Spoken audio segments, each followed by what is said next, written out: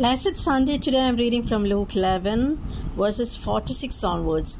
My soul doth magnify the Lord, and my spirit has rejoiced in God my Saviour, for he has regarded the low estate of his handmaiden. For behold, from henceforth all generations shall call me blessed. For he that is mighty has done me great things, and holy is his name.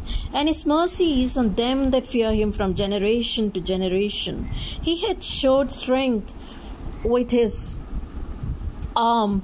He has scattered the proud in the imagination of their hearts. He has put down the mighty from their seats and exalted them of a low degree. He has filled the hungry with good things, and the rich he has sent empty away. He has helped his servant Israel in remembrance of his mercy. And he spake of the fathers to Abraham and to his seed forever.